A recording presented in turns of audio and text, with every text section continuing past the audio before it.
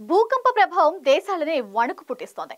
ఏం చేయాలో అర్థం కాని పరిస్థితి ఏర్పడింది అక్కడ. వేలాది మంది ప్రాణాలు లెక్కలేనని ఇళ్ళు కుప్పకూలిపోయాయి. అరచేతిలో ప్రాణాలను పెట్టుకొని బతుకుతున్నారు అక్కడి ప్రజలు. భూకంప తీవ్రతతో రెండు దేశాల్లో సుమారు మూడు వేల నాలుగు వందల మందికి పైగా చనిపోయారు. శిథిలాల కింద ఇప్పటికీ వందలాది మంది చిక్కుకుని ఉన్నారు.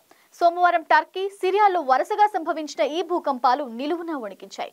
పెద్ద ఎత్తున భవనాలు పేకమేడల్లో కుప్పకూలిపోయాయి. ఈ రెండు దేశాల్లో భూకంపాల తీవ్రత కారణంగా భారీ ఎత్తున విధ్వంసం వేల కొద్ది ప్రాణాలు బలి అయ్యాయి వందలాది మంది ఇంకా శిథిలాల కిందే ఉన్నారు. టర్కీ సిరియాలో సోమవారం తెల్లవారుజామున భారీగా భూమి కంపించడంతో రిక్టర్ స్కేలుపై దీని తీవ్రత ఏడు పాయింట్ ఎనిమిదిగా నమోదైంది. టర్కీ సిరియా సరిహద్దుకు రెండు వైపులా భయానక వాతావరణం ఏర్పడింది. ఒక్క టర్కీలోనే మూడు వేలకు పైగా ఇళ్ళు నేలకూలాయి. టర్కీ సిరియాలకు సాయం అందించడానికి నలభై ఐదు దేశాలు ముందుకొచ్చాయి. సహాయక చర్యల కోసం గాలింపు బృందాలు వైద్య సామాగ్రిని పంపనున్నట్లు ప్రకటించారు. అమెరికా రష్యా జర్మనీ తైవాన్తో పాటు భారత్ కూడా ఈ జాబితాలో ఉంది. టర్కీ సిరియా భూకంప విభత్సంపై ప్రధాని నరేంద్ర మోదీ ట్విట్టర్ వేదికగా స్పందించారు. రెండు దేశాలకు అన్ని విధాల సాయం చేయడానికి సిద్ధంగా ఉన్నట్లు ప్రకటించారు.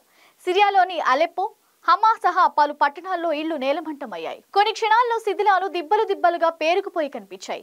భూకంపం ధాటికి జనం విలవిలలాడారు. ఈ విలయం కారణంగా రెండు దేశాల్లో సుమారు మూడు వేల నాలుగు వందల మందికి పైగా చనిపోయారు. శిథిలాల కింద ఇప్పటికీ వందలాది మంది చిక్కుకొని ఉన్నారు. ఫలితంగా మృతుల సంఖ్య మరింత పెరిగే అవకాశాలు కనిపిస్తున్నాయి.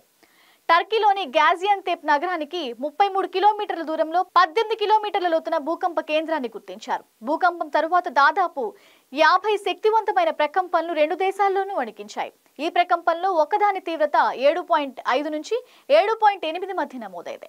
భూకంప ప్రభావిత ప్రాంతాల్లోని ఆసుపత్రులు కిక్కిరిసిపోయి కనిపించాయి.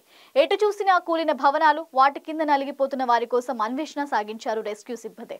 కొన్ని చోట్ల శిథిలాల అడుగుల నుంచి జనం ఆర్తనాదాలు వినిపించాయి. భూకంప ప్రాంతాల నుంచి జనం బయటపడడానికి ప్రయత్నించడంలో రోడ్లపై భారీగా ట్రాఫిక్ జామ్లు ఏర్పడ్డాయి.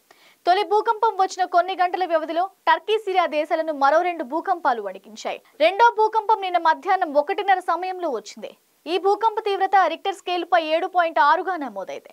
టర్కీలోని ఎకినాసు పట్టణంలో రెండో భూకంప కేంద్రాన్ని గుర్తించారు. సాయంత్రం ఆరింటికి ఆరు పాయింట్ సున్నా తీవ్రతతో మరో భూకంపం కనిపించింది. ఇలాంటి భూకంపాలు మరింత కుదిపేసే ప్రమాదం ఉందని హెచ్చరిస్తున్నారు అధికారులు.